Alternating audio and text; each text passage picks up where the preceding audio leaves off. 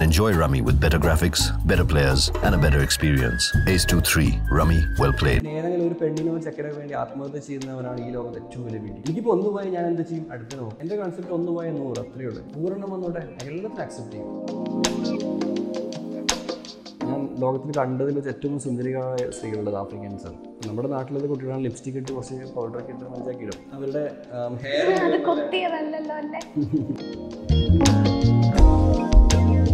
എന്റെ കൺസെപ്റ്റിൽ വിശക്കും എന്റെ മുമ്പിൽ വന്ന എന്തും അതിന്റെ പ്രശ്നമാണ് ഫുഡ് എന്തും കഴിക്കും എന്തും. ഇപ്പം നമ്മൾ നമ്മൾ രണ്ടുപേരും കൂടി യാത്ര ചെയ്യുന്ന നമ്മളൊരു മരുഭൂമിയിൽ എനിക്ക് കഴിക്കാനൊന്നുമില്ല ഞാൻ ചിലപ്പോൾ കഴിക്കും ഞാൻ എന്റെ ആദ്യത്തെ നേപ്പാൾ യാത്ര നടത്തുന്നത് പൈസ ഇല്ലാതെ ഒരു രൂപ ചിലവില്ലാതെ ഞാൻ പോയിട്ടുള്ളൂ കുറഞ്ഞ ചിലവിൽ കൂടുതൽ യാത്ര ചെയ്യുന്നതാണ് എന്റെ ഒരു ക്യാപ്ഷൻ പക്ഷേ നമ്മൾ മറ്റുള്ളവരെ കാണിക്കാൻ വേണ്ടി യാത്ര ചെയ്യുമ്പോൾ പണത്തിന്റെ ആവശ്യമുണ്ടാവും കേരള ടു ഞാൻ പോയത് എന്റെ ക്ലിക്ക് സ്കൂട്ടർ എടുത്തിട്ടാണ്. വലിയ വണ്ടികളും വലിയ പാണ്ടക്കെട്ടും വലിയ സാധനങ്ങളൊക്കെ എടുത്ത് ഒരു ഷോപ്പ് എന്ന രീതിയിൽ പോയപ്പോൾ ഞാൻ വളരെ സിമ്പിളായിട്ട് തൊണ്ണൂറ്റൊമ്പത് സി സി വീട്ടിന്റെ മുറ്റത്തുള്ള സ്കൂട്ടർ എടുത്തിട്ട് പോയിട്ടുണ്ട് കോവിഡിനെ പേടിച്ചിട്ട് ഞാൻ അങ്ങനെ എവിടെയും മാറിയിട്ടില്ല ഞാൻ ഒരു മുൻകരുതൽ എടുക്കാറില്ല. ഇത്ര കാലം ഈ കോവിഡ് ലോക്ക്ഡൗൺ സമയത്ത് ഞാൻ പ്രത്യേകിച്ച് ഒരു മുൻകരുതൽ എടുത്തിട്ടില്ല. നമ്മുടെ നാട്ടിലെ ആൾക്കാർക്ക് പേടിയാണ്. എന്തോ ഒരു ഈ സോബി സിനിമയൊക്കെ കണ്ടുപോലെ വന്നു കഴിഞ്ഞാൽ അങ്ങനെയാണെങ്കിൽ ഞാൻ അകത്തും കേരളത്തിനകത്തും പോകാൻ പറ്റില്ല എന്റെ ജില്ലക്കകത്തും ഇവിടെ പോയില്ലെങ്കിൽ അതിൽ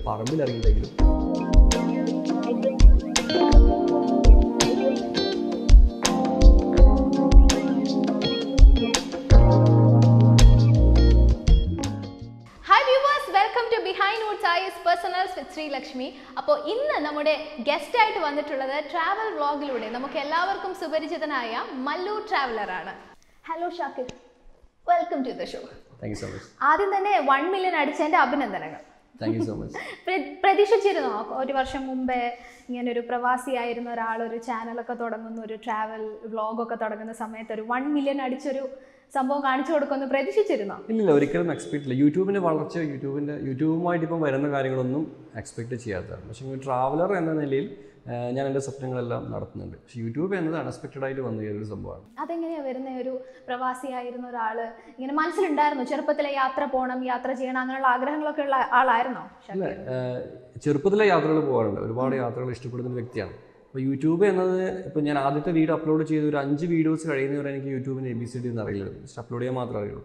അപ്പം ട്രാവലറാണ് ഒരുപാട് യാത്രയാണ് ഇഷ്ടമുണ്ട്. കുട്ടിക്കാലം മുതൽ യാത്ര ചെയ്യാറുണ്ട്. യാത്രകൾ യൂട്യൂബ് ചാനൽ തുടങ്ങുന്നതിന് മുമ്പ് ചെയ്തിട്ടുണ്ട്. പോയ യാത്രയുടെ വിശേഷങ്ങൾ മറ്റുള്ളവരോട് പങ്കുവെക്കുമ്പോൾ അവരത് വിശ്വസിക്കുന്നില്ല. അപ്പം എന്റെ ഒരു കുറച്ച് സുഹൃത്തുക്കൾക്ക് വേണ്ടി മാത്രമാണ് യൂട്യൂബ് ചാനൽ തുടങ്ങിയത്. ഏകദേശം ഒരു അൻപത് അറുപത് പേർക്ക് വേണ്ടി മാത്രം. പക്ഷെ അതിങ്ങനെ ഒരു പത്ത് ലക്ഷം പത്ത് ലക്ഷത്തി അറുപതിനായിരത്തോളം ഫോളോവേഴ്സിൽ ഇപ്പോൾ എത്തി നിൽക്കുന്നുണ്ട്. ഓക്കെ ശരിക്കും എന്താ പറയുക ഇപ്പോൾ ഷാഖീറിനെ പോലുള്ള ആൾക്കാർ ബ്ലോഗേഴ്സ് എന്ന് പറഞ്ഞ് പ്രത്യേകിച്ച് ട്രാവൽ ബ്ലോഗ് ചെയ്യുന്ന ആൾക്കാർ ശരിക്കും സന്തോഷം കൊടുക്കുന്ന ആൾക്കാർ എന്താണെന്നറിയാമോ നിങ്ങൾ ഓരോ സ്ഥലത്ത് ഇങ്ങനെ പോയി യാത്ര ചെയ്യുമ്പോൾ ആ വിഷ്വൽസ് കാണുന്ന സമയത്ത് ഇത് പോകാൻ കഴിയാത്ത കുറേ ആളുകളുണ്ട്. വീട്ടിലൊക്കെ ഇരിക്കുന്ന ആളുകൾ എന്തെങ്കിലുമൊക്കെ അവിടെ പോകണമെന്ന് വിചാരിക്കുന്നവർക്ക് അങ്ങനെയുള്ളവർക്ക് ഇങ്ങനത്തെ സാധനം കാണുമ്പോൾ എന്തെങ്കിലും ഞാൻ അവിടെയൊക്കെ പോവല്ലോ? അങ്ങനെയൊക്കെയുള്ളൊരു വിചാരമാണ് അപ്പോൾ ഇതിൽ ചിന്തിച്ച് നോക്കിയിട്ടുണ്ടോ? തീർച്ചയായിട്ടും. നമ്മൾ യാത്ര കൊണ്ട് ഉദ്ദേശിക്കുന്നത് എന്റെ യാത്ര കൊണ്ട് ഞാൻ ഉദ്ദേശിച്ചത് ഒരുപാട് സ്ഥലങ്ങൾ കാണുക എന്നതിലുപരി ഒരുപാട് സംസ്കാരം പഠിക്കുക ഒരുപാട് ഭാഷകൾ പഠിക്കുക. പിന്നെ ഒരുപാട് എന്താ പറയുക മതപരമായിട്ടും എല്ലാം ജനങ്ങളുടെ ജീവിത രീതി പരമായിട്ടും എല്ലാം പഠിക്കുക. അതാണ്. പഠിക്കുക കാണുക എന്നതിൽ ഉപരി അത് മറ്റുള്ളവർക്ക് കാണിക്കുക. അതും കൂടി ഇപ്പം യൂട്യൂബ് ചാനലിലൂടെ വരുന്നുണ്ട്. അപ്പം ഒരു രാജ്യത്തെ പറ്റി നമ്മുടെ മലയാളികൾ കാണുന്ന കാഴ്ചകൾ ഒരുപക്ഷേ സോഷ്യൽ മീഡിയ വഴിയോ മറ്റോ അറിയുന്നതായിരിക്കും നമ്മളവിടെ നേരിട്ട് ചെന്ന് അവിടുത്തെ പച്ചയായ ജീവിതം കാണിച്ചു കൊടുത്ത് ഇതാണ്. ഈ രാജ്യത്ത് നടക്കുന്ന കാര്യങ്ങൾ ഇതാണ് എന്ന് പറയുമ്പോൾ പലരുടെയും മനസ്സിലുണ്ട് ആ ഒരു ആ ഒരു ചിന്തയുണ്ടാവും ഒരു രാജ്യം ഇങ്ങനെയാണ് എന്നുള്ളത്. അത് മൊത്തം മാറുന്നുണ്ട്. നെഗറ്റീവായിട്ടുള്ള കാര്യങ്ങളൊക്കെ മാറി പല രാജ്യങ്ങളും പലരും ഇപ്പോൾ ഇഷ്ടപ്പെടാൻ തുടങ്ങിയിട്ടുണ്ട്. അതെ അതെ. ഒരു നേപ്പാൾ യാത്രയാണെന്ന് തോന്നുന്നു നിർണായകമാണ്. അത് നേപ്പാൾ യാത്രയ്ക്ക് ശേഷം സിംഗപ്പൂർ പോകുന്നതാണോ? എങ്ങനെയാണ് ഞാൻ ആളുകളിലേക്ക് ആദ്യം യാത്ര ചെയ്തത് കേരള ടു നേപ്പാളായിരുന്നു. നേപ്പാൾ യാത്ര പക്ഷേ ബ്ലോഗ് ചെയ്തിട്ടില്ല. ഞാൻ എന്റെ ഫേസ്ബുക്ക് പേജ് ലിസ്റ്റ് എഴുതിയിട്ടുണ്ടായിരുന്നു. അങ്ങനെ അത് അതാണ് ആ യാത്രയുടെ കാര്യങ്ങൾ എഴുതുമ്പോഴും പല മാധ്യമങ്ങളും ഇംഗ്ലീഷ് പത്രങ്ങളൊക്കെ റിപ്പോർട്ട് ചെയ്തിരുന്നു. പക്ഷെ എന്നിട്ട് ആൾക്കാർക്ക് വിശ്വാസം വരുന്നില്ല. അങ്ങനെയാണ് എന്റെ നെക്സ്റ്റ് കേരള ടു സിംഗപ്പൂർ യാത്രയാണ് യൂട്യൂബ് ചാനൽ സ്റ്റാർട്ട് ചെയ്തത്. അപ്പം അതിലൂടെയാണ് യൂട്യൂബ് ഫീൽഡിലേക്ക് തുടങ്ങിയത് സ്റ്റാർട്ട് ചെയ്തത്. പിന്നെ അത് കഴിഞ്ഞിട്ട് കേരള ടു ആഫ്രിക്ക പോയി. കുറച്ചും കൂടി ആഫ്രിക്കയിലെ കാഴ്ചകൾ വളരെ വ്യത്യസ്തമായ കാഴ്ച ആരും കാണിക്കാത്ത കാഴ്ചകൾ കണ്ടപ്പം അപ്പോൾ ആൾക്കാർക്ക് ഒന്നും ഇൻട്രസ്റ്റ് ആയി. പിന്നീടാണ് ഞാൻ കേരള ടു കാശ്മീർ ഇപ്പം വേൾഡ് റൈഡിൽ എത്തിക്കുന്നത് ഇപ്പോൾ കുറേ സ്ഥലങ്ങൾ പോയിട്ടുണ്ടല്ലോ കുറേ രാജ്യങ്ങൾ പോയിട്ടുണ്ടല്ലോ. ഏറ്റവും റിസ്ക് ആയിട്ട് തോന്നിയിട്ടുള്ള ഏതായിരുന്നു? കുറച്ച് പാടുപെട്ട് പ്രയാസപ്പെട്ട് കഷ്ടപ്പെട്ട് അല്ല ഒരു അഡ്വഞ്ചർ ട്രാവലർ എന്ന നിലയിൽ കഷ്ടപ്പാടുകൾ എന്ന് പറയുന്നത് എന്താണെന്ന് എനിക്കറിയില്ല. നമ്മൾ യാത്ര ചെയ്യുമ്പോൾ തീർച്ചയായിട്ടും കഷ്ടപ്പെടണം. നമ്മളിപ്പോൾ ഇവിടുന്ന് എ സിയുടെ കാറിൽ എയർപോർട്ടിൽ പോയി അവിടുന്ന് ഫ്ലൈറ്റ് കയറി അവിടെ ഇറങ്ങി അവിടെ ഗൈഡ് വന്ന് കൂട്ടി നമ്മൾ എ സിയുള്ള ഒരു ഹോട്ടലിൽ കൊണ്ടുപോയി സ്വിമ്മിംഗ് പൂളിൽ കുളിച്ചു. അതല്ല യാത്ര എന്ന് പറഞ്ഞു നമ്മൾ ജനങ്ങളിലേക്ക് ഇറങ്ങണം. ഏത് രാജ്യത്ത് പോയാലും പ്രത്യേകിച്ച് കഷ്ടപ്പാടൊന്നും എനിക്ക് ഉണ്ടായില്ല എനിക്ക് തോന്നുന്നത് ഇന്ത്യയിലെ നോർത്ത് ഇന്ത്യയിലെ ചില ഭാഗങ്ങൾ പോകുമ്പോഴാണ് ടെക്നിക്കലെങ്കിലും എന്റെ ക്യാമറ അടിച്ചു മാറ്റി പോകുക ഇതുപോലുള്ള പ്രശ്നങ്ങൾ ഉണ്ടായത്. അതല്ലാതെ ഞാൻ യാത്ര ചെയ്ത ഒരു രാജ്യത്തും ഒരു തരത്തിലുള്ള കഷ്ടപ്പാടൊന്നും ഉണ്ടായിട്ടില്ല. ഞാൻ എല്ലാം ആസ്വദിച്ചു. എന്റെ ഭാഷ പറഞ്ഞ ഒരു കോമഡിയാണ് എത്ര കഷ്ടപ്പാടുണ്ടെങ്കിലും ഞാൻ എന്റെ വ്യൂവേഴ്സിനോട് ഒരു ഭയങ്കര കോമഡി ഉണ്ട് എന്ന് പറഞ്ഞിട്ടാണ് പറയുന്നത്. അപ്പം മാക്സിമം കഷ്ടപ്പാടുകൾ വരാനാണ് ഞാൻ ആഗ്രഹിക്കുന്നത്. എന്നാൽ മാത്രമേ യാത്രയ്ക്ക് ഒരു ത്രില്ല് അഡ്വഞ്ചർ ട്രാവലർ എന്ന് പറയുമ്പോൾ നമ്മൾ അഡ്വഞ്ചറസ് ആയിട്ട് തന്നെ ചെയ്യണം. അതല്ലാതെ വളരെ ഈസി ആയിട്ട് ഒരു പൂ പറിക്കുന്ന ഒരു ലാഘവത്തോടെ പോയിട്ട് വന്നിട്ട് കാര്യമില്ല. അപ്പം കഷ്ടപ്പാടില്ല എനിക്ക് മനസ്സിലായി. ആ ഒരു ഇപ്പൊ പറഞ്ഞില്ലേ ഞാനൊരു തമാശ പറയാൻ പോവാണെന്ന് പറഞ്ഞില്ല. അതുപോലെ എന്ത് വിഷമങ്ങളുണ്ടെങ്കിലും തമാശ പോലെ പറയുന്ന ഒരാളാണെന്ന് ഒരു ബ്ലോഗിൽ വന്ന് പറയുന്നത് ഞാൻ കണ്ടിട്ടുണ്ട്. അപ്പോൾ ആളുകൾ താഴെ പറഞ്ഞേക്കുന്നത് മല്ലു ട്രാവലിന് ഒരു മോട്ടിവേഷണൽ സ്പീക്കർ ആയിക്കൂടെ എന്നൊക്കെയാണ് ചോദിക്കുന്നത്. അതായത് കാര്യങ്ങളൊക്കെ ഭയങ്കര ഭയങ്കര ഈസി ആയിട്ടാണ് പറയണത്. ആ ഒരു സി ഒരു മോട്ടിവേഷൻ സ്പീക്കർ എന്ന് പറയുമ്പോൾ ഒരാൾ അയാളുടെ അനുഭവങ്ങളുടെ അനുഭവങ്ങൾ പറഞ്ഞിട്ട് മറ്റുള്ളവരെ ഇൻസ്പയർ ആക്കുകയാണെങ്കിൽ അതാണ് യഥാർത്ഥ മോട്ടിവേഷൻ അതല്ലാതെ നമ്മൾ പുസ്തകങ്ങൾ വായിച്ചിട്ടോ അല്ലെങ്കിൽ ഇംഗ്ലീഷിൽ മറ്റ് വാക്കുകളൊക്കെ കടമെടുത്തിട്ടോ ഒരു മൈക്ക് പിടിച്ച് സ്റ്റേജിലൂടെ നമ്മൾ സംസാരിക്കുമ്പോൾ ഒരിക്കലും മോട്ടിവേഷൻ സ്പീച്ച് എന്ന് പറയാൻ പറ്റില്ല. അനുഭവങ്ങളുള്ളവരാണ് യഥാർത്ഥ മോട്ടിവേഷൻ സ്പീച്ചർ എന്ന് പറയുന്നത്. ഞാൻ എവിടെയും മോട്ടിവേഷൻ പറയുന്നില്ല. ഞാൻ എന്റെ ജീവിതത്തിൽ ചെയ്ത് കാണിക്കുന്നു. പലരും നമുക്ക് നമ്മളെ കൊണ്ട് ചെയ്യാൻ പറ്റുന്നില്ല എന്ന് പറയുന്ന കാര്യങ്ങൾ നമ്മൾ ചെയ്ത് കാണിക്കുന്നു. ചെയ്ത് കാണിക്കുമ്പോൾ അത് കാണുന്ന ആൾക്കാർക്ക് അതുപോലെ ചെയ്യാനുള്ള ഒരു ഇൻസ്പിറേഷൻ ഉണ്ടാവും. അത് മാത്രമേ കൊടുക്കുന്നുള്ളൂ. ഈ കുറെ പേര് ആദ്യകാലങ്ങളിലൊക്കെ കുറെ പരിഹസിച്ചിട്ടുണ്ട് അല്ലെങ്കിൽ കുറെയൊക്കെ നെഗറ്റിവിറ്റി കുറെ ആളുകൾ വന്നിട്ടുണ്ടെന്നൊക്കെ ഞാൻ കേട്ടു. അപ്പൊ അവരുടെയൊക്കെ മുന്നിൽ ഇപ്പം ഭയങ്കര ഒരു വിജയിച്ച് നിൽക്കുന്ന ഒരാളാണ്. നോക്കൂ വൺ മില്യൺ ഒക്കെ അടിച്ചിട്ട് നിൽക്കുകയാണ്. അവരോടൊക്കെ എന്താ പറയാനുള്ളത്? ശരി ഇപ്പോഴും ഒരു വൺ മില്യൺ എന്നത് ഞാൻ വലിയ സന്തോഷമായിട്ട് അങ്ങനെ കാണുന്നില്ല. കാരണം യൂട്യൂബ് എന്നുള്ള എന്റെ ജോലിയാണ്. ഞാനൊരു ജോലി ചെയ്തു അതല്ലാതെ യൂട്യൂബർ എന്ന നിലയിൽ ഞാൻ ഭയങ്കര സംഭവമായിരുന്നു ഞാൻ പറഞ്ഞത്. ഞാനൊരു ട്രാവലറാണ് എനിക്ക് ഒരുപാട് കാര്യങ്ങൾ അച്ചീവ് ചെയ്യാണ് ലോകം മുഴുവൻ പരന്നു കിടക്കുന്നുണ്ട്. അപ്പോൾ അവസാനത്തെ രാജ്യവും കവർ ചെയ്ത് തിരിച്ച് വീട്ടിൽ വന്നാൽ മാത്രമേ ഞാൻ സന്തോഷത്തോടെ പറയും ഞാൻ എന്തെങ്കിലും നേടി ഇപ്പോഴും ഇരുപത്തഞ്ച് രാജ്യങ്ങൾ കഴിഞ്ഞിട്ടും രാജ്യങ്ങൾ ഒരുപാട് കിടക്കുന്നുണ്ട്. അതാണ് എന്റെ ലക്ഷ്യം. യൂട്യൂബ് എന്നുള്ള ഒരു സൈഡിൽ കൂടെ അങ്ങനെ പോകുന്നുണ്ട്. നമ്മളൊരു ജീവിത മാർഗമാണ് വരുമാന മാർഗമാണ് അപ്പോൾ വരുമാനത്തിന്റെ ഭാഗമായിട്ട് യൂട്യൂബ് ചാനൽ വളർത്തുന്നു എന്നേ ഉള്ളൂ. അതല്ലാതെ അതിലൂടെ ഒരിക്കലും നമ്മളൊരു വലിയൊരു പബ്ലിസിറ്റി ഫേമസ് അങ്ങനെയൊന്നും എക്സ്പെക്ട് ചെയ്യുന്നില്ല. ഓക്കെ. ഇപ്പോൾ വീട്ടുകാരുടെ സപ്പോർട്ട് എത്രത്തോളമാണ് എനിക്കറിയാം എല്ലാവരും ചോദിക്കാറുണ്ട് എന്താണ് വൈഫിനെ കൊണ്ടുവരാത്ത എന്തിനാണ് തന്നെ ട്രാവൽ ചെയ്യാൻ പോണത്? അങ്ങനെയൊക്കെ ചോദിക്കാറുണ്ടല്ലോ. അവരോടൊക്കെ. അല്ല എന്റെ ഒരു ഫാമിലി വ്ളോഗല്ല ഒരു ട്രാവലിംഗ് ബ്ലോഗാണ് ഞാൻ എന്റെ ഗുരുനാഥനായിട്ട് കണക്കാക്കി നമ്മുടെ ബഹുമാനപ്പെട്ട സന്തോഷ് ജോർജ് ഉളങ്ങരസ് അദ്ദേഹം അദ്ദേഹത്തിന്റെ ഫാമിലി വീഡിയോസ് ഇടാറില്ല പിന്നെ എന്റെ വൈഫ് എന്ന് പറയുന്നത് അവർക്ക് ശരിക്കും പിന്നെ വീഡിയോന് വിടാൻ താല്പര്യമില്ല. കുറച്ച് ഓർത്തഡോക്സ് ടൈപ്പാണ് ഞാൻ നേരെ തിരിച്ചിട്ടാണ്. ഞങ്ങൾ രണ്ടുപേരും രണ്ട് ടൈപ്പാണ് ജീവിതം സ്റ്റൈൽ മുഴുവനും. അപ്പോൾ അവൾക്ക് വരാൻ ഇൻട്രസ്റ്റ് ഇല്ല. അപ്പോൾ ഇൻട്രസ്റ്റ് ഇല്ലാത്ത ഒരാൾക്കാരെ നമ്മൾ പിടിച്ചിടേണ്ട ആവശ്യമില്ല. ഒരു പക്ഷേ അവർക്ക് വരാൻ താല്പര്യമുണ്ട് തീർച്ചയായിട്ടും ഞാൻ വീഡിയോയിലിടും പക്ഷേങ്കിൽ ഒരു ഫാമിലി മാൻ എന്ന ഒരു ഹസ്ബൻഡ് എന്ന നിലയിൽ ഞങ്ങൾ ഒരുപാട് യാത്രകൾ ചെയ്യാറുണ്ട്. മക്കളെയും കൂടി ഒരുപാട് സ്ഥലങ്ങളിൽ പോകാറുണ്ട്. ഇപ്പോഴും ഞാൻ തിരിച്ചു പോയി ഞങ്ങൾ വയനാടേക്ക് ഒരു റിസോർട്ടിലൊക്കെ പോകുന്നുണ്ട്. പക്ഷെ ഒന്നും ബ്ലോഗിലൂടെ വരില്ലല്ലോ ഞാനും എന്റെ ഫാമിലിയുമായിട്ടുള്ള രഹസ്യ നിമിഷങ്ങൾ അല്ലെങ്കിൽ ഞങ്ങളുടെ സ്വകാര്യ നിമിഷങ്ങൾ അത് പബ്ലിക്കിൽ കാണിച്ച് ഞങ്ങൾ അത് ചെയ്യുന്ന ഇത് ചെയ്യുന്ന എന്ന് പറഞ്ഞ് അതിലൂടെ ഒരു ഫെയിം ആവാന്ന് പറയുന്നത് എനിക്ക് അതിനോട് വലിയ താല്പര്യമില്ല. താല്പര്യമില്ല. അതുപോലെ തന്നെ ഒരു ഒരു വ്ളോഗിനകത്ത് ഷക്കീർ പറയുന്നുണ്ട് ഒരാൾ എന്താണ് ഒരു പ്രണയം ഒരു ഒരാൾ ഒരാളെ മാത്രം പ്രണയിക്കരുത് പ്രണയിച്ചുകൊണ്ടേ ഇരിക്കുക എന്നൊരു കാര്യം പറയുന്നുണ്ട്. അപ്പം അതിന് താഴെ നിരവധി പേര് ആൾക്കാർ വന്നിട്ട് അങ്ങനെ പറഞ്ഞ് ശരിയായില്ല അങ്ങനെയുള്ള കാര്യങ്ങൾ കമന്റുകളൊക്കെ ഞാൻ കണ്ടു. ശരിക്കും അന്ന് എന്താ ഉദ്ദേശിച്ചത് തീർച്ചയായിട്ടും നമ്മൾ അതിനെ ഒന്നിൽ ഒതുങ്ങി നിൽക്കുന്നത് നമ്മളൊന്ന് എനിക്ക് എന്റെ കൺസെപ്റ്റ് ഒന്ന് പോയ നൂറ് അത്രയേ ഉള്ളൂ. ഇപ്പം കഴിഞ്ഞ ദിവസം നമ്മൾ കണ്ട സോഷ്യൽ മീഡിയ ഒരു കുട്ടി ആത്മഹത്യ ചെയ്തൊരു പ്രാണി നൈരാശ്യത്തിന്റെ പേരിൽ. നമ്മൾ ജനിച്ച് വീഴുമ്പോൾ നമ്മൾ ഒറ്റക്കാണ് നമ്മൾ ജനിക്കുന്നത്. മരിച്ച് മണ്ണിനടി ഇപ്പം ഒറ്റക്കാണ്. ഇതിനിടയിൽ ഇപ്പം നമ്മൾ കാണുന്നു ഇപ്പോൾ അച്ഛനായിക്കോട്ടെ അമ്മയായിക്കോട്ടെ ഭാര്യയായിക്കോട്ടെ മക്കളായിക്കോട്ടെ ഇതൊക്കെ വരുന്ന ഓരോ കഥാപാത്രങ്ങളാണ്. ജീവിതം എന്ന് പറഞ്ഞാൽ നമ്മുടെ ജീവിതമാണ് നമുക്ക് വലുത്. അതിനിടയിൽ ഒന്ന് പോയി അതിനെ ചവിട്ടി ഒഴിവാക്കി നമ്മൾ മറ്റൊന്നിനെ നോക്കിക്കോ. ഒരിക്കലും നമ്മൾ മറ്റുള്ളവർക്ക് വേണ്ടി സാക്രിഫൈസ് ചെയ്യാൻ പാടില്ല. പിന്നെ ഏതെങ്കിലും ഒരു പെണ്ണിനോ ചെക്കനോ വേണ്ടി ആത്മഹത്യ ചെയ്യുന്നവനാണ് ഈ ലോകത്ത് ഏറ്റവും വലിയ വീട്ടി ഒരിക്കലും അങ്ങനെ പാടില്ല. എനിക്കിപ്പോൾ ഒന്ന് പോയി ഞാൻ എന്താ ചെയ്യും? അടുത്തതിനെ നോക്കും. നൂറെണ്ണം വന്നോട്ടെ എല്ലാത്തിനും അക്സെപ്റ്റ് ചെയ്യും. കാരണം ഞാൻ മരിച്ചു വീഴുന്നത് വരെ ഞാൻ സന്തോഷമായിട്ട് ജീവിക്കുക. അതാണ് എന്റെ കൺസെപ്റ്റ് അതിനിടയിൽ നാട്ടുകാരെന്ത് പറയുന്നു? വീട്ടുകാരെന്ത് പറയുന്നു? വേറെ ആൾ എന്തെങ്കിലും പറയുന്നു? അതൊന്നും നമ്മൾ നോക്കേണ്ട ആവശ്യമില്ല. നമ്മൾ എപ്പോഴും സന്തോഷമായിട്ട് ഇരിക്കുന്നുണ്ടോ? ആരും ഉപദ്രവിക്കാതെ നല്ല രീതിയിൽ ഹാപ്പി ആയിട്ട് പോകുന്നുണ്ടോ? ഇതാണ് മെയിൻ ബാക്കിയൊക്കെ മരിച്ചു കഴിഞ്ഞ് മുകളിലെത്തുമ്പോൾ പഠിച്ചവനായിട്ട് നമുക്ക് നോക്കാം. മാസിക്ക് റയാന് സുഖാണോ സുഖാണ് മാസിക്ക് ഒരു ചാനൽ ഉണ്ടല്ലോ. അത് അവന് അവനാണ് കേരളത്തിലെ ഫസ്റ്റ് യങ്ങസ്റ്റ് യൂട്യൂബറാണ് അവനാണ് ഫസ്റ്റ് സിൽവർ ബട്ടൺ കിട്ടിയത്. ഇപ്പം ആറ് വയസ്സായി. പക്ഷെ ആറ് വയസ്സാകുന്നതിന് മുമ്പേ സിൽവർ ബട്ടൺ കിട്ടിയിരുന്നു. അച്ഛനെ കണ്ടാണോ മോനും ബ്ലോഗ് ഇപ്പോഴേ ഇളയതും ഇപ്പൊ ആ ഒരു ഫീൽഡിൽ എത്തിയിട്ട് എന്റെ ക്യാമറ എടുത്തിട്ട് ഇങ്ങനെ പിടിച്ചെന്തൊക്കെയൊക്കെ പറയുന്നുണ്ട്. ആശാരിയുടെ മകൻ ആശാരി എന്ന് പറയുന്ന പോലെ മക്കളും ആ ഫീൽഡിൽ തന്നെ കൈ ഒടിഞ്ഞൊക്കെ ശരിയായോ? ശരിയായി. മക്കൾ ഇങ്ങനെ വീട്ടിൽ ഇത്ര യാത്ര ചെയ്തിട്ടൊക്കെ വരുന്ന ആളല്ലേ? അപ്പൊ കുറച്ച് നാളൊക്കെ അല്ലേ വീട്ടിൽ വന്ന് നിൽക്കാൻ പറ്റത്തുള്ളൂ? അതിനെ എങ്ങനെയാ ആ ഒരു ടൈം മാനേജ്മെന്റ് എങ്ങനെയാ?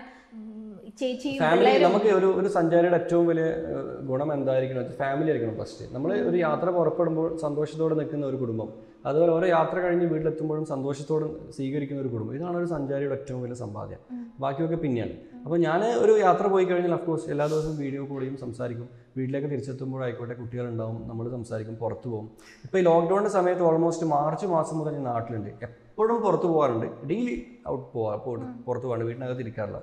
എനിക്കിങ്ങനെ ബോഡി ഇങ്ങനെ അനങ്ങിക്കൊണ്ടേയിരിക്കണം. അപ്പം വീട്ടിൽ മക്കളുണ്ട്. അപ്പം വീട് നാട്ടിലുള്ളത് കൊണ്ട് തന്നെ അതിന്റെ ഭാഗമായിട്ട് വീട് പണിയൊക്കെ നടക്കുന്നുണ്ട്. അപ്പൊ അതുമായിട്ട് അവിടെ തന്നെ ഉണ്ട്. ഉണ്ടാവും. വീട് പണിയൊക്കെ ഇവിടെ വരെ ഞാൻ കണ്ടു വ്ളോഗിൽ അതെല്ലാം വിശേഷങ്ങളൊക്കെ. അത് ഈ ഒരു വ്ളോഗിങ്ങിലൂടെ ഉണ്ടാക്കിയ പൈസ കൊണ്ടാണ് ഒരു സ്വപ്ന ഭവനം എന്നുള്ള. സ്വപ്ന ഭവനം എന്നത് എന്റെ സ്വപ്ന ഭവനമല്ല എനിക്ക് വീടിനോടോ വീടുകൾ എടുക്കാനോടോ വല്ല ഇൻട്രസ്റ്റ് ഇല്ലായിരുന്നു വൈഫിന്റെ സ്വപ്നമാണ്.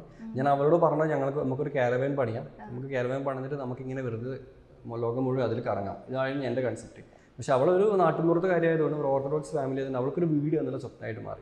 അപ്പം ഞാൻ ഓക്കെ എന്നാൽ പിന്നെ ഇറങ്ങാം. നാട്ടിലുണ്ടല്ലോ. അങ്ങനെ ഇറങ്ങി. ഇപ്പം പത്താം തീയതി പത്താം തീയതിയാണ് അതിന്റെ മെയിൻ കോൺക്രീറ്റ് സ്ലാബ് വരുന്നത്. രണ്ടാം നിലയിൽ ഉഷാറായിട്ട് പോകുന്നുണ്ട്. അടിപൊളി. ഇപ്പോൾ ഒരുപാട് ഇപ്പോൾ യൂട്യൂബ് തുറന്നു നോക്കിയാൽ പലതരത്തിൽ വ്ളോഗ് ചെയ്യുന്ന ആളുകളെ കുറേ നമുക്ക് കാണാൻ പറ്റുന്നുണ്ട്. അപ്പം ട്രാവലും അതുപോലെ തന്നെ കുറേ ആളുകളുണ്ട്. അപ്പം ഇതിൽ നിന്നൊക്കെ വ്യത്യസ്തമായിട്ട് നമ്മുടെ സാധനത്തിനൊരു പൊങ്ങി നിൽക്കണമല്ലോ നമ്മുടെ സാധനം എന്നാണേലും അടിപൊളിയായിട്ട് വരണമല്ലോ. അപ്പോൾ അതിന് വേണ്ടി എന്തൊക്കെയാ? ഒരു ഹോംവർക്ക് എടുക്കാറുണ്ടോ? അല്ല എന്റെ വ്ളോഗിന്റെ ഒരു സ്പെഷ്യാലിറ്റി എന്താ ഞാൻ അഞ്ച് മിഷൻസ് കംപ്ലീറ്റ് ചെയ്തിട്ടുണ്ട്. ഈ അഞ്ച് മിഷൻസ് ആരും അതിന് ശേഷവും അതിന് മുമ്പ് ചെയ്തിട്ടില്ല. ഞാൻ ഈവൻ ഫസ്റ്റ് ഇന്ത്യൻ എന്നുള്ള ഒരു എനിക്ക് കിട്ടിയിട്ടുണ്ട്. ഫസ്റ്റ് ഞാൻ സിംഗപ്പൂർ പോയതും ആഫ്രിക്കയിൽ ബാക്ക് പാക്ക് ചെയ്തും ആരും ചെയ്യാത്ത കാര്യങ്ങളാണ് അപ്പം നമ്മൾ ആരും ചെയ്യാത്ത കാര്യങ്ങൾ ചെയ്യുമ്പോൾ അഫ്കോഴ്സ് ആൾക്കാർ നമ്മളോട് അട്രാക്ട് ചെയ്യണം. ഈയിടെ അടുത്ത കാലത്താണ് ഞാൻ എന്റെ ഗാഡ്ജറ്റുകളൊക്കെ ചേഞ്ച് ചെയ്തിട്ട് ഫോർ കെയിലൊക്കെ വീഡിയോസ് മാറ്റിയത് എഡിറ്റിങ്ങും ഒക്കെ ചേഞ്ച് ചെയ്തു. ആദ്യ കാലഘട്ടത്തിൽ ഞാൻ പല ലോക്കൽ ഫോർമാറ്റിലൊക്കെയാണ് അപ്ലോഡ് ചെയ്തത് വീഡിയോസ് വീഡിയോസിന്റെ കണ്ടന്റും സ്റ്റെബിലൈസേഷനും ഒന്നും ഇല്ലായിരുന്നു. ക്വാളിറ്റി ഇല്ലായിരുന്നു. പക്ഷെ അതിന്റെ ആ കണ്ടന്റ് ക്വാളിറ്റി ഉണ്ട്. നമ്മൾ കൊണ്ടുവരുന്ന വിഷ്വൽസ് നമ്മുടെ എക്സ്പീരിയൻസ് ഒക്കെ വേറെ എവിടെയും കിട്ടാത്തതുകൊണ്ട് മാത്രമാണ് ചാനൽ ഗ്രോത്ത് ആയത്. നമ്മൾ ഞാൻ മറ്റുള്ളവരെ കോപ്പി അടിക്കാറില്ല. ഒരാൾ ചെയ്ത കാര്യങ്ങൾ ഞാൻ പിന്നീട് കോപ്പി അടിക്കാറില്ല. ചെയ്യാത്ത കാര്യങ്ങൾ മാത്രം. അപ്പോൾ ആരും ചെയ്യാത്ത കാര്യങ്ങൾ വെച്ചാൽ ഇപ്പോഴും ഈ ബൈക്ക് ക്യാമ്പയിൻ ഞാനാണ് ഫസ്റ്റ് ഒരു ഇത്രയും വിലപിടിപ്പുള്ള ഒരു ഗിവ് അവേ ഇന്ത്യയിൽ തന്നെ യൂട്യൂബേഴ്സിന് ഇഷ്ടമല്ല ഞാനാണ് കൊടുക്കുന്നത്. ഒരു ടൂ വീലർ ഗിവ് അവേ കൊടുക്കുക എന്ന് പറയുമ്പോൾ അപ്പോൾ ആരും ചെയ്യാത്ത കാര്യങ്ങൾ പയറ്റുക. അപ്പോൾ എന്റെ വണ്ടി തിരിച്ചു കൊണ്ടുവരാൻ വേണ്ടി ഫണ്ട് റേസിംഗ് എന്ന് പറഞ്ഞാൽ ഞങ്ങൾ ഒരു കീ ചെയിന്റെ ക്യാമ്പയിൻ നടത്തിയിരുന്നു. ഒരു ദിവസം കൊണ്ട് ഏകദേശം മൂന്ന് ലക്ഷത്തി എൺപതിനായിരം രൂപയുടെ അടുത്ത് ഞങ്ങൾ കീ ചെയിൻ സെയിൽ ചെയ്തു ഫണ്ട് റൈസ് ചെയ്തു. ആരും ട്രൈ ചെയ്യാത്ത കാര്യങ്ങൾ ആരും ചെയ്യാത്ത കാര്യങ്ങൾ ചെയ്യുമ്പോഴാണ് നമുക്കൊരു വ്യത്യസ്തമായിട്ട് ത്രില്ല് വരുന്നതല്ലേ? ഈ യൂട്യൂബിലും കുറേ ആൾക്കാരുണ്ടല്ലോ നിങ്ങളൊക്കെ സുഹൃത്തുക്കളാണോ? എങ്ങനെ അവരുടെയൊക്കെ ഒരു സപ്പോർട്ട് എങ്ങനെയാണ് വേറെയും ബ്ലോഗേഴ്സ് ഒക്കെ ഉണ്ടല്ലോ. തീർച്ചയായിട്ടും. ഇപ്പം ഞാനിപ്പോൾ ഇവിടെ വന്നത് എന്റെ സുഹൃത്ത് സെമീലിന്റെ കൂടെയാണ്. അദ്ദേഹം ഒരു പ്രൊഫഷണൽ യൂട്യൂബറാണ് ഫുൾ ടൈം യൂട്യൂബറാണ് ഒരുപാട് യൂട്യൂബ് സുഹൃത്തുക്കളുണ്ട്. പക്ഷേ ഇപ്പോഴും ഞാൻ സോഷ്യൽ മീഡിയയിൽ ആക്റ്റീവായ ഒരു വ്യക്തിയല്ല. എന്റെ ഫേസ്ബുക്ക് പേജൊക്കെ എന്റെ ടീമാണ് ഹാൻഡിൽ ചെയ്യുന്നത്. ഞാൻ യാത്ര ചെയ്യുന്നു യാത്ര ചെയ്യുമ്പോൾ എല്ലാ മൊബൈൽ സ്വിച്ച് ഓഫ് ആയിരിക്കും. നാട്ടിലുണ്ടാവും മാത്രമേ മൊബൈൽ ഓൺ ആക്കുന്നുള്ളൂ. മാക്സിമം സോഷ്യൽ മീഡിയ അകന്ന് നിന്നിട്ട് എന്റെതായ ഒരു ലോകം കുടുംബം കുട്ടികൾ. ഈ നേരത്തെ പറഞ്ഞ പോലെ സോഷ്യൽ മീഡിയ എന്നത് എന്റെ ഒരു ജോലിയാണ്. ആ ജോലി വൃത്തിക്ക് ചെയ്യുക അത് കഴിഞ്ഞ് വീട്ടിലിരിക്കുക. ഓൾവേസ് അതിന്റെ മുകളിൽ ഓവർ നമ്മൾ ഒരു ജോലിക്ക് നമ്മൾ ടൈം കൊടുക്കാൻ പാടില്ല. പാടില്ല നല്ല കാര്യം. മറ്റു വ്ളോഗേഴ്സ് കേൾക്കട്ടെ.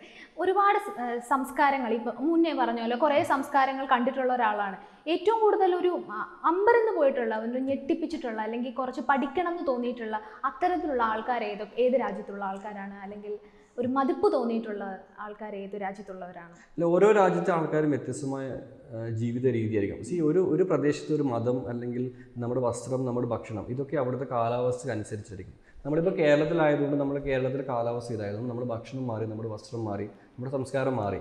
പക്ഷെ നമ്മൾ നേരെ മറിച്ച് കാശ്മീരിൽ പോയി കഴിഞ്ഞാൽ അവിടെയും മാറും. അപ്പോൾ ഓരോ പ്രദേശങ്ങളും വളരെ വ്യത്യസ്തമാണ്. നമ്മളിൽ പലരും ഇപ്പോൾ ചെയ്യുന്നത് വിദേശ രാജ്യങ്ങളിലുള്ള മറ്റ് സ്ഥലങ്ങളിലെ വസ്ത്ര രീതികൾ ഭക്ഷണ രീതികൾ നമ്മുടെ നാട്ടിൽ ട്രൈ ചെയ്യാൻ തുടങ്ങി. പക്ഷെ അവിടുത്തെ ആൾക്കാർ എന്തുകൊണ്ടാണ് അത് കഴിക്കുന്നത് എന്ന് ആരും നോക്കുന്നില്ല. അവിടുത്തെ കാലാവസ്ഥക്ക് അനുസരിച്ചിട്ട് അതാണ് അവർക്ക് വേണ്ടത്. ആ ഭക്ഷണമാണ് നമ്മൾ ഇവിടെ ട്രൈ ചെയ്യുന്നത്. അപ്പം അങ്ങനെയുള്ള കുറച്ച് ഡിഫറൻസ് ഉണ്ട് എന്നാലും പിന്നെ അമ്പരപ്പിക്കുന്നതെന്ന് എന്ന് വെച്ചാൽ എനിക്കിപ്പോഴും എന്താ പറയുക ഒരു ഈ ഹിപ്പി ടൈപ്സ് അങ്ങനത്തെ ഒരു ആഫ്രിക്കൻസ് ഒക്കെയാണ് എനിക്ക് കൂടുതൽ ഇൻട്രസ്റ്റ് കാരണം ഞാൻ ലോകത്തിൽ കണ്ടതിൽ വെച്ച് ഏറ്റവും സുന്ദരികളായ സ്ത്രീകളുള്ളത് ആഫ്രിക്കൻസാണ് അവർ നിറം കറുപ്പാണെങ്കിൽ അവരുടെ ശരീരവും പിന്നെ ശരീര സൗന്ദര്യത്തിന് അവർ കൊടുക്കുന്ന പ്രാധാന്യമുണ്ട്. ഇപ്പം നമ്മുടെ നാട്ടിലത് കുട്ടികളാണ് ലിപ്സ്റ്റിക് ഇട്ട് കുറച്ച് പൗഡറൊക്കെ ഇട്ട് മഞ്ചാക്കി ഇടും. പക്ഷെ അവരതല്ല. അവർ ശരിക്കും അവരുടെ ഹെയർ മുതൽ നല്ല ഹെയറൊക്കെ സെറ്റപ്പ് ആക്കി അവരങ്ങനെയാണ്. ശരീരത്തിന് ഭയങ്കരമായിട്ട് പ്രാധാന്യം കൊടുക്കുന്നത്. എനിക്ക് ഏറ്റവും ഇഷ്ടപ്പെട്ട കൾച്ചറും ആഫ്രിക്കൻസാണ് കണ്ടതിൽ വെച്ചിട്ട്. കാരണം അവരുടെ എന്താ പറയുക ഒരു ഫ്രീഡം ലൈഫാണ്. എവിടെയും ഒരു കൺട്രോളോ കാര്യങ്ങളിലോ അവർക്ക് ഇഷ്ടമുള്ള പോലെ അവർക്ക് ജീവിക്കാം. ഇനി കുറച്ച് കൗതുകം എന്റെ എന്റെ കൗതുകങ്ങൾ ഞാൻ ചോദിച്ചോട്ടെ. ഈ പുഴുവിനെ അങ്ങനത്തെ ഫുഡില്ലേ പലതരത്തിലുള്ള ഫുഡ് അതൊക്കെ കഴിച്ചിട്ടുള്ളതിൽ ഏറ്റവും വിയേർഡായിട്ടുള്ള ഫുഡ് ഏതാ? അല്ല എന്റെ കൺസെപ്റ്റിൽ ഇപ്പോഴും എന്റെ യൂട്യൂബ് ചാനൽ ഫുഡ് ബ്ലോഗുകൾ കാണാൻ കഴിയില്ല. കാരണം എനിക്ക് ഫുഡ് ആസ്വദിച്ച് കഴിക്കാൻ അറിയില്ല. ഞാൻ ഫുഡ് ബ്ലോഗ് ഉണ്ടെങ്കിൽ എന്റെ ഫ്രണ്ട്സിനെയാണ് ഞാൻ കൂട്ടാറുള്ളത്. അവരെ കൊണ്ട് ടേസ്റ്റ് ചെയ്യിപ്പിക്കാം. എന്റെ കൺസെപ്റ്റിൽ വിശക്കും എന്റെ മുമ്പിൽ വന്ന എന്തും അതിന്റെ ഭക്ഷണമാണ്. അങ്ങനെ കഴിച്ചിട്ടുള്ളതിൽ ഞാൻ അല്ല ഒരുവിധം ഞാൻ കമ്പോഡിയിൽ വെച്ചിട്ട് പുഴു കഴിച്ചിരുന്നു. പിന്നെ എന്താ പറയുക നമ്മുടെ മുതലൊക്കെ കഴിച്ചിട്ടുണ്ടായിരുന്നു. മുതലൊക്കെ നോർമൽ ഫുഡാണ് പിന്നെ അതുപോലെ ഈ പാമ്പിന്റെ കഴിച്ചിട്ടുണ്ടായിരുന്നു. ഫുഡ് എന്തും കഴിക്കും എന്തും. ഇപ്പം നമ്മൾ നമ്മൾ രണ്ടുപേരും കൂടി യാത്ര ചെയ്യുന്ന വെച്ചാൽ നമ്മളൊരു മരുഭൂമിയിലെത്തി. എനിക്ക് കഴിക്കാനൊന്നുമില്ല ഞാൻ ചിലപ്പോൾ നിന്നും കഴിക്കും. കാരണം വിശക്കുന്നവനെ മുമ്പിൽ ദൈവം പോലും അപ്പമായിട്ട് വരും എന്നൊരു ചൊല്ലുന്നുണ്ട് അപ്പം നമ്മുടെ വിശപ്പ് മാറ്റാനുള്ള ഒരു ഭക്ഷണം ഒരു സാധനമാണ് ഭക്ഷണം എന്ന് ചിന്ത വന്നു കഴിഞ്ഞാൽ പിന്നെ ഫുഡിനോടൊന്നും വലിയ ഇൻട്രസ്റ്റ് ഉണ്ടാവില്ല. ഉണ്ടാവില്ല. അതുപോലെ തന്നെ വേറെ ചോദ്യം. ഈ ചില സ്ഥലങ്ങളിൽ വെച്ച് എനിക്കറിയത്തില്ല. ഈ ചില സ്ഥലങ്ങളിലൊക്കെ വെച്ച് നമ്മൾ പറയത്തില്ലേ പെട്ടുപോകാന്നൊക്കെ പറയത്തില്ലേ? അങ്ങനെ ആരെങ്കിലും പിടിച്ച് പെട്ടുപോയിട്ടുണ്ടോ? ഒരു സ്ഥലത്ത് ഇങ്ങനെ വിളിക്കാൻ പറ്റാതെ മറ്റു മറ്റേ സിനിമയ്ക്ക് അത് ജഗതിയൊക്കെ പിടിച്ച് കെട്ടിയിടത്തില്ലേ? യോധ്യയിൽ അത് അതുമാതിരി ഏതെങ്കിലും ഒരു സ്ഥലത്ത് പോയിട്ട് പെട്ടുപോയിട്ടുണ്ടോ? പിന്നെ പിന്നെ ഒരുപാട്. ആഫ്രിക്കയിലൊക്കെ ഒരുപാട് പെട്ടുപോയിട്ടുണ്ട്. പക്ഷേ ആ സമയത്ത് ഇപ്പോൾ അവർ കോമഡി ആയിട്ട് എടുക്കാറുള്ളൂ. ഇത് കുളി എന്നൊക്കെ പറഞ്ഞ ട്രാവൽ ടൈമിൽ മൂന്ന് ദിവസം കൂടുമ്പോഴൊക്കെ കുളിച്ച സിറ്റുവേഷൻ ഒക്കെ ഉണ്ട്. മൂന്ന് ദിവസം ഒക്കെ എടുക്കുമായിരുന്നു ചില തണുപ്പുള്ള സ്ഥലമൊക്കെ ആണെങ്കിൽ നാലോ അഞ്ചോ ദിവസമൊക്കെ എടുക്കും. ശരീര സൗന്ദര്യത്തിന്റെ കാര്യത്തിൽ ഞാൻ കുറച്ച് പുറകോട്ടാണ് വലിയ ഒരു ബോഡി അങ്ങനെ ബോഡി പെയിന്റിങ്ങോ അല്ലെങ്കിൽ വലിയ മേക്കപ്പ് ഇട്ട് ഹെയർ സ്റ്റൈൽ ചെയ്ത് ഭയങ്കര ഗ്ലാമർ ആ. ടൈപ്പ് ഒന്നുമില്ല. നമ്മൾ കുളിക്കും. അത്യാവശ്യത്തിന് കുളിക്കും. പല്ല് തേക്കും. വേറെ ഒരു പരിപാടിയില്ല. ഇനി പോകാനുള്ള ഒരു സ്ഥലം. ഇനി ഈ ഒരു സ്ഥലത്തിൽ പറഞ്ഞല്ലോ ഇരുപത്തഞ്ച് രാജ്യങ്ങൾ ചുറ്റി ഇനിയും ലിസ്റ്റിൽ കുറേ രാജ്യങ്ങളുണ്ട്. സ്വപ്നമായിട്ട് നിൽക്കുന്ന ഒരു സ്ഥലം അതേതാണ്? എനിക്കിപ്പം എല്ലാം കഴിഞ്ഞ് അവസാനം എനിക്കൊന്ന് പാകിസ്ഥാനിലേക്ക് പോകണമെന്നുണ്ട്. എല്ലാ രാജ്യങ്ങളും കഴിഞ്ഞിട്ട്. അതാണ് എന്റെ എനിക്ക് തോന്നുന്നില്ല ഒരു ഫൈനൽ ഡെസ്റ്റിനേഷൻ അതായിരിക്കും.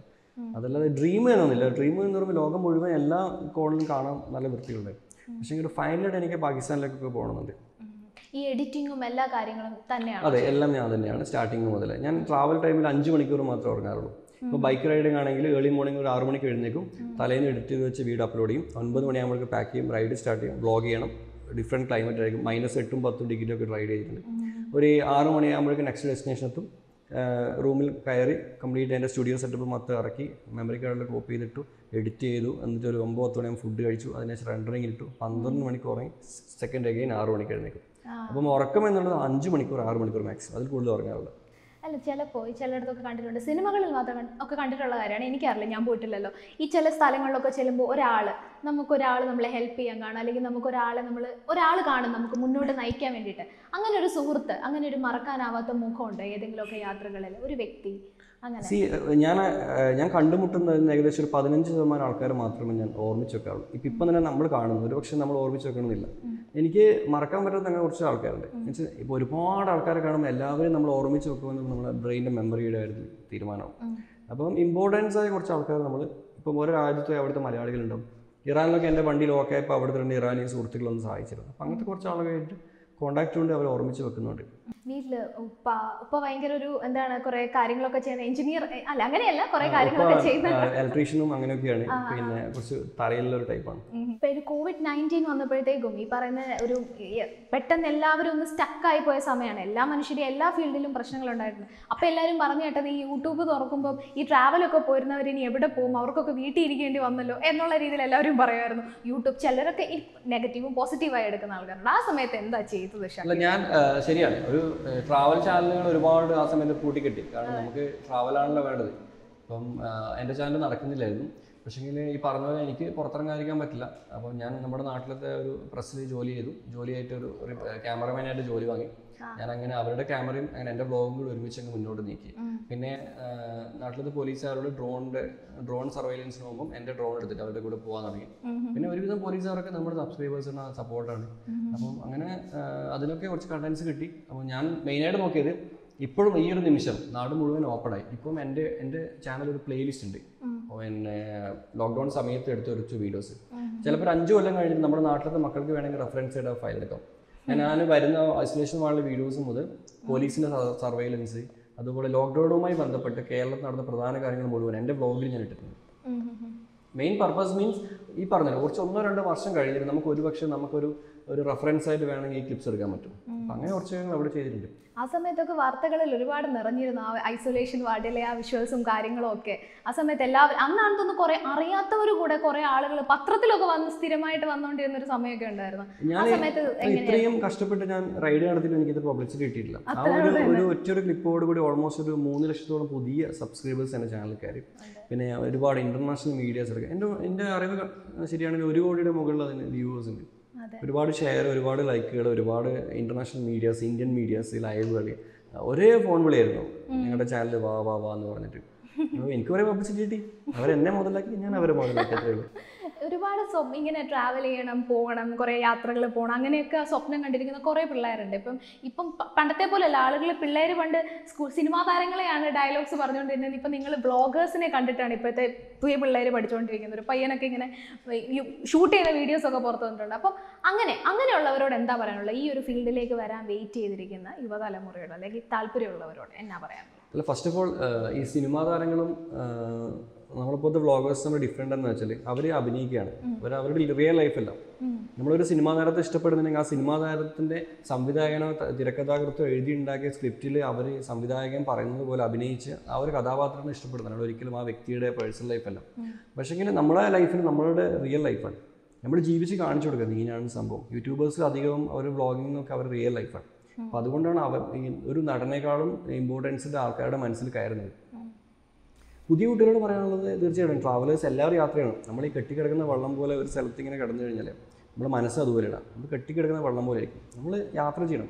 യാത്ര ചെയ്തു കഴിഞ്ഞാൽ മതപരമായും രാഷ്ട്രീയപരമായും ജാതിപരമായും നിറപരമായും നമ്മുടെ മനസ്സിലുള്ള എല്ലാ റേസിസവും അങ്ങ് പോയി കിട്ടും. എന്താണ് ലോകം? നമ്മൾ ഈ പൊട്ടക്കെട്ടിൽ കിടക്കുന്ന തവളേനെ പോലെ ഇവിടെ കിടന്നിട്ട് നമ്മൾ തമ്മിൽ തല്ലുന്ന ഓരോ അനാവശ്യ കാര്യങ്ങൾക്ക് തമ്മിൽ തല്ലുന്നു. അടി കഴിഞ്ഞു. അപ്പം ശരിക്കും എവിടെയും പോകാത്തവന്റെ മനസ്സിൽ ഇതാണ് നമ്മുടെ ലോകം. അപ്പോൾ ഈ ഒരു എറണാകുളത്തെ ഈ ഒരു മൂലയിൽ ഇതാണ് ഈ ലോകം. അപ്പോൾ ഇതാണ് സത്യം എന്ന് പറയും. നമ്മൾ ഈ ടൗൺ വിട്ട് നമ്മൾ പുറത്ത് പോകണം. അല്ലെങ്കിൽ സ്റ്റേറ്റ് വിട്ട് പുറത്ത് രാജ്യം വിട്ട് പുറത്ത് പോകണം. പുറത്ത് പോയാൽ നമ്മൾ മറ്റ് മറ്റ് ഏരിയയിലുള്ള ആൾക്കാർ മറ്റ് ഓരോ സംസ്കാരത്തിലുള്ള ആൾക്കാർ കണ്ടു കഴിഞ്ഞാൽ എന്താണ് ജീവിതം? കുട്ടിക്കാലത്ത് നമ്മൾ പഠിച്ച കാര്യങ്ങൾ പലതും പൊട്ട തെറ്റായിരുന്നു എന്ന് നമുക്ക് എന്താണ് തോന്നും. നമ്മൾ നല്ല മൈൻഡൊക്കെ ഫിൽട്ടർ ആവും. ഒരു ഒരു യാത്രികൻ എന്ന് വെച്ച് കഴിഞ്ഞാൽ ഒരിക്കലും ഒരു ജാടയോ അഹങ്കാരോ അല്ലെങ്കിൽ എന്താ പറയുക റേസിസോ കാര്യങ്ങളോ ഒന്നും ഉണ്ടാവില്ല. അവന്റെ മനസ്സ് ഫിൽട്ടർ ചെയ്തുകൊണ്ടേയിരിക്കും ഇങ്ങനെ. ഓരോ യാത്രകൾ പോകുന്നതനുസരിച്ചിട്ട് അവന്റെ സ്വഭാവത്തിൽ മാറ്റങ്ങൾ വരും. പക്ഷെ മറ്റുള്ളവരുടെ കണ്ണിലൂടെ കാണുമ്പോൾ ചിലപ്പോൾ ഇവനൊരു അരവട്ടനായിട്ടും അല്ലെങ്കിൽ ഇവനെ ഏതാ ഇപ്പോൾ ഇങ്ങനെ ഇവന്റെ സംസാരം ശരിയില്ല. അങ്ങനെയൊക്കെ പറയും. പക്ഷെ ഇവന് ബുദ്ധി വന്നു. അവർക്ക് ഇപ്പോഴും ബുദ്ധി വന്നിട്ടില്ല. അവരിപ്പോഴും പൊട്ടക്കിണറ്റിൽ കിടന്നിട്ട് ഇങ്ങനെ തുള്ളിക്കൊണ്ടിരിക്കുന്നത് കിണർ വിട്ട് പുറത്തു പോകണം പാട്ട് പാടുമോ പിന്നെ പാട്ട് പാടാൻ പറഞ്ഞ പാടും ഡാൻസ് കളിക്കാൻ പറഞ്ഞു എന്തും ഇപ്പം ഇപ്പം ഇപ്പം പാടുന്നില്ല. അതല്ല ദിലീപ് പറഞ്ഞ പോലെ മറ്റേ എന്താ പറയാ സ്വരം ശരിയല്ല. അത് കുഴപ്പമില്ല പാട്ട് പാട്ട് കേക്കോ? ആ ഞാൻ എനിക്ക് പുതിയതിനേക്കാളും പഴ പഴയതിനോട് ഇഷ്ടം. ഞാൻ ഏതെങ്കിലും രാജ്യത്തൂടെ ഇങ്ങനെ നല്ല ജസ്റ്റ് നല്ല ഗ്രാമങ്ങളുണ്ടാവും അല്ലെങ്കിൽ നല്ല ഐസ് മലയൊക്കെ ഉണ്ടാവും. പിന്നെ റൈഡ് ആയിട്ട് പോകും. ഹെൽമെറ്റിനുള്ളിൽ സേന കണക്ട് ചെയ്തിട്ടുണ്ട് ബ്ലൂടൂത്ത് ഉണ്ട്. ഞാൻ പഴയ പാട്ടുകൾ കേൾക്കും. പഴയ പാട്ടുകൾ കേട്ട് രണ്ട് കാലം വണ്ടികളൊക്കെ കേട്ട് വെച്ച് ഇങ്ങനെ എൻജോയ് ചെയ്തിട്ട് പോകും. അതൊരു നല്ലൊരു മൊമെന്റ്സ് ആണ്. സിനിമയിൽ അഭിനയിക്കാൻ അവസരം കിട്ടിയാലോ വിളിച്ചിട്ടുണ്ടോ ആരെങ്കിലും? എന്താണെന്ന് വെച്ചാൽ നല്ല സുന്ദരനല്ലേ കാണാൻ അപ്പോൾ അല്ല സൗന്ദര്യം എന്നുള്ളത് നമ്മുടെ മനസ്സിനുള്ളതാണ്. ഞാൻ ഒരിക്കലും എന്റെ വലിയ സുന്ദരനാണ് ഞാൻ എവിടെയും പറയാറില്ല. പിന്നെ അതെ നമ്മുടെ ഇഷ്കിന്റെ സംവിധായകനൊക്കെ എന്റെ ചങ്ങാതിയാണ്. വീടിന് നേരെ മുമ്പിലാണ്. പിന്നെ അതുപോലെ എന്റെ ഫ്രണ്ട്സൊക്കെ ഉണ്ട്. സിനിമ സർക്കിളിൽ വർക്ക് ചെയ്യണം അഭിനയിക്കണമെന്ന് അങ്ങനെ വലിയ ഇൻട്രസ്റ്റ് ആരോടും പറഞ്ഞിട്ടില്ല. കാരണം അഭിനയമല്ല നമുക്ക് നമ്മുടെ ജീവിതം കാണിക്കുന്ന ഏറ്റവും നല്ലത്. അഭിനയിച്ചു കഴിഞ്ഞാൽ ക്യാരക്ടർ മാറി. ഞാൻ എന്റെ ലൈഫിൽ ഞാൻ ഒരു ആൽക്കഹോളിക് കാര്യങ്ങളൊന്നും ഉപയോഗിക്കാറില്ല. എപ്പോഴും നോർമലായി എന്റെ ക്യാരക്ടർ എന്താണ് അത് അങ്ങനെ കാണിക്കും മരിക്കുന്നത് വരെ. അപ്പം നമ്മളൊരു മൂവിയിലൊക്കെ അഭിനയിച്ചു കഴിഞ്ഞാൽ ഞാൻ മറ്റൊരാളായിട്ടാണ് അഭിനയിക്കുന്നത്. അപ്പോൾ അതിൽ കാര്യമില്ല. ഞാൻ ഞാൻ തന്നെ എനിക്ക് മല്ലു ട്രാവലറായിട്ട് ഒരു ഓപ്പർച്യൂണിറ്റിയാണ് തീർച്ചയായിട്ടും ഓക്കെ അങ്ങനെ സംഭവിക്കരുത് കേട്ടോ. ഇപ്പൊ നമ്മൾ യാത്ര പോകാൻ ഒരു ഒരുപാട് പേർക്ക് ആഗ്രഹം കാണും. നമ്മളിങ്ങനെ മനസ്സിലിങ്ങനെ വിചാരിക്കും ഇന്ന സ്ഥലത്ത് പോകണം ഇന്ന സ്ഥലത്ത് പോകണം ഒക്കെ. അപ്പോൾ ഈ പോകാനുള്ള വരുമാനം ഒരു വലിയ കാര്യമാണ് അതിന്റെ എക്സ്പെൻസും കാര്യങ്ങളൊക്കെ അപ്പോൾ ആദ്യത്തെ വീഡിയോ ചെയ്യുന്ന സമയത്ത് അതിന്റെ കാര്യങ്ങൾ എന്തൊക്കെയാണ്? ഈ കാണും പുതിയതായിട്ട് ട്രാവൽ ചെയ്യാൻ താല്പര്യമുള്ള കുട്ടികളൊക്കെ കാണുന്നുണ്ടായിരിക്കുമല്ലോ ഇന്റർവ്യൂ അപ്പോൾ അവരോട് പറയാൻ വേണ്ടിയിട്ടാണ് അതിന്റെ എക്സ്പെൻസ് എങ്ങനെയാണ് നമ്മൾ കൈകാര്യം ചെയ്യേണ്ടത് അതിന്റെ കാര്യങ്ങളൊക്കെ. അല്ല കേരളത്തിൽ ഒരുപാട് ഒരു കാലത്ത് കേരളത്തിലെ കാലാവസ്ഥ ഈ ട്രാവൽ മേഖലയിലെ കാലാവസ്ഥ എങ്ങനെയായിരുന്നു വെച്ചാൽ പണമുള്ളവൻ മാത്രം യാത്ര ചെയ്യുന്നുള്ളൂ. പണമില്ലാത്തവൻ യാത്ര ചെയ്യുന്നില്ല. എന്നുവെച്ചാൽ ഒരാൾ പുറത്തു പോയിട്ട് വലിയ പൈസക്കാരൻ ഈ ചിന്താഗതിയായിരുന്നു. ഞാൻ എന്റെ ആദ്യത്തെ നേപ്പാൾ യാത്ര നടത്തുന്നത് പൈസ ഇല്ലാതെ ഒരു രൂപ ചിലവില്ലാതെ ഞാൻ പോയിട്ട് വന്നു പണമില്ലാതും യാത്ര ചെയ്യുമെന്ന് കാണിക്കാൻ വേണ്ടാം രണ്ടാമത് ഞാൻ ചെയ്ത നമ്മുടെ സിംഗപ്പൂർ യാത്ര എനിക്ക് നാൽപ്പത്തി സംതിങ് രൂപ മാത്രമേ വില എനിക്ക് എക്സ്പെൻസ് വന്നിട്ടുള്ളൂ. സി എന്റെ ക്യാപ്ഷൻ വെച്ചാൽ സ്പെയിൻ പ്ലസ് ട്രാവൽ വർക്ക് കുറഞ്ഞ ചിലവിൽ കൂടുതൽ യാത്ര ചെയ്യുന്നതാണ് എന്റെ ഒരു ക്യാപ്ഷൻ അപ്പം നമുക്ക് യാത്ര ചെയ്യാൻ പണത്തിന്റെ ആവശ്യമില്ല.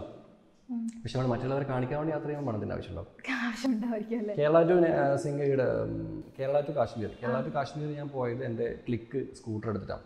നാട്ടിൽ ഒന്നര ലക്ഷം ഒക്കെ മുടക്കിയിട്ടൊക്കെ പോയ ആൾക്കാർ എന്റെ അറിവിലുണ്ട് ബാങ്ക് ലോണൊക്കെ എടുത്തിട്ട് കാശ്മീരൊക്കെ. ഞാൻ പോയത് പതിനാറായിരം രൂപ കാരണം അവർ വലിയ വണ്ടികളും വലിയ ബാണ്ടക്കെട്ടും വലിയ സാധനങ്ങളൊക്കെ എടുത്ത് ഒരു ഷോപ്പ് എന്ന രീതിയിൽ പോയപ്പോൾ ഞാൻ വളരെ സിമ്പിൾ ആയിട്ട് തൊണ്ണൂറ്റൊമ്പത് സി സി വീട്ടിന്റെ മിറ്റത്തിൽ സ്കൂട്ടർ എടുത്തിട്ട് പോയിട്ടാണ് എന്തൊക്കെയായിരിക്കും ആ ബാഗിൽ ഉണ്ടാവുന്ന ബേസിക് സാധനങ്ങൾ എന്തൊക്കെയായിരിക്കും? എനിക്ക് തന്നെ ക്യാമറ ഉണ്ടാവും ഓഫ് കോഴ്സ് ഓൾവേസ് ഒരു ക്യാമറ ഉണ്ടാവും. പിന്നെ ലാപ്ടോപ്പ് ചാർജേഴ്സ് അത്രയും ഉണ്ടാവും. പിന്നെ പഴയ വസ്ത്രങ്ങളായിരിക്കും പുതിയൊന്നും എടുക്കുക. യൂസ് ആണ്. ഞാൻ എവിടെയും അങ്ങനെ ബ്രാൻഡഡ് ക്ലോത്തുകൾ അങ്ങനെ എടുത്ത് പോകാറില്ല നമ്മൾ ഫുട്പാത്തിൽ നിന്ന് ലോക്കൽ ക്ലോത്ത്സ് വാങ്ങും ഇടുക ചാടുക. ഇനി പോയി നൂറ് രൂപ അമ്പത് രൂപ നല്ല നല്ല ക്ലോത്തുകൾ കിട്ടും. നമുക്ക് നമ്മുടെ ബോഡി കവർ ആയാൽ പോരെ. നമ്മളാരും എവിടെ കാണിക്കണല്ലോ ഞാൻ വലിയൊരു ഷെയ്ക്കിന്റെ മോനാണല്ലോ. ടാൻ പ്രശ്നങ്ങളൊന്നും? ഒന്നുമില്ല ഒന്നും വരാനില്ല ഒന്നും ചിന്തിക്കാറില്ല. ഒന്നും നോക്കാറില്ല. ഓക്കെ. ഇപ്പം ഇപ്പോൾ കോവിഡ് ഒക്കെയാണ് അതൊക്കെ കഴിഞ്ഞ് നമ്മൾ അങ്ങനെ അതിൽ ഒരു കര കയറിക്കൊണ്ടിരിക്കുകയാണ്. പിന്നെ അടുത്ത പടിയായിട്ട് എന്തൊക്കെയാണ് ചെയ്യുന്നത്? ഇനി ട്രാവൽ ചെയ്യുമ്പോൾ എന്തോരം സൂക്ഷിച്ചാൽ പറ്റും? നമ്മൾ ഇനി ഒത്തിരി സൂക്ഷിക്കേണ്ട പഴയ പോലെ അല്ല. അപ്പം എന്തൊക്കെ മുൻകരുതലുകളാണ് എടുക്കുന്നത്? എന്തൊക്കെയാണ് ഞാൻ ഒരു മുൻകരുതൽ എടുക്കാറില്ല. ഇത്ര കാലം ഈ കോവിഡ് ലോക്ക്ഡൗൺ സമയത്ത് ഞാൻ പ്രത്യേകിച്ച് ഒരു മുൻകരുതൽ എടുത്തിട്ടില്ല. എപ്പോഴും വീട്ടിൽ കയറുമ്പോൾ ഞാൻ സോപ്പിട്ട് കുളിച്ച് കയറും എന്നല്ലാതെ വേറെ ഒന്നുമില്ല അതിന് മാസ്ക് ഇടാറുണ്ട്. അതല്ലാതെ കോവിഡിനെ പേടിച്ചിട്ട് ഞാൻ അങ്ങനെ എവിടെയും മാറി നിന്നിട്ടില്ല. ഇപ്പോൾ ഞാൻ യു എയിലേക്ക് പോകുന്ന. യു എയിൽ പോയിട്ട് തിരിച്ചു വന്നാലും ഞാൻ ഞാൻ ഓൾ ഇന്ത്യ റൈഡ് പ്ലാൻ ഉണ്ട്. നമ്മൾ സ്റ്റേറ്റ് വിട്ട് പുറത്തെത്തി കഴിഞ്ഞ് ഞാൻ പോകും.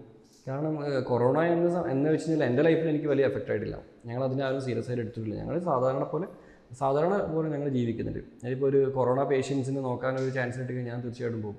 ഒരു ഒരു പ്രശ്നമില്ല. കാരണം കോവിഡ് വന്നാൽ മരിക്കില്ല എന്ന് എനിക്ക് നല്ലോണം അറിയാം. എന്റെ അനിയനൊക്കെ പോസിറ്റീവ് ആയിരുന്നു. യു എയിലാണ് ഇവിടെ ആണെങ്കിൽ നമ്മുടെ നാട് മൊത്തം ലോക്ക്ഡൗൺ ആയിട്ട് കിടന്നത് യു അവർ റൂമിൽ നിന്ന് രണ്ട് ആഴ്ച കൊണ്ട് മാറിക്കിട്ടി. എന്റെ ഒരുപാട് ഫ്രണ്ട്സ് പോസിറ്റീവായിട്ട് റിക്കവർ ആയിട്ട് without treatment there is no treatment അതാണ് first of all there is no treatment നമ്മുടെ നാട്ടിലെ ആൾക്കാർക്ക് പേടിയാണ്. എന്തോ ഒരു ഈ സോംബി സിനിമയൊക്കെ കണ്ടുപോലെ വന്നു കഴിഞ്ഞാൽ അങ്ങനെയാണ് ഇങ്ങനെയാണ്. ഈ പോസിറ്റീവ് ആയാലും എനിക്ക് കുഴപ്പമൊന്നുമില്ല. ഞാൻ വീട്ടിൽ തന്നെ കിടന്നോളാം. ഇപ്പം നമ്മളിപ്പം ട്രാവലിംഗ് എന്ന് പറയുമ്പോൾ പല സ്ഥലങ്ങളിലേക്കുള്ള യാത്ര. അപ്പോൾ ആ സമയത്ത് ഇപ്പോൾ ഈ കോവിഡും ഈ പറയുന്ന എന്തൊക്കെയാണെങ്കിലും പ്രശ്നങ്ങളാണ്. ആഗോളതലത്തിൽ നമ്മൾ ചർച്ച ചെയ്യുന്ന ഒരു ഒരു പ്രശ്നമാണല്ലോ ഒരു ക്രൈസിസ് ആണല്ലോ.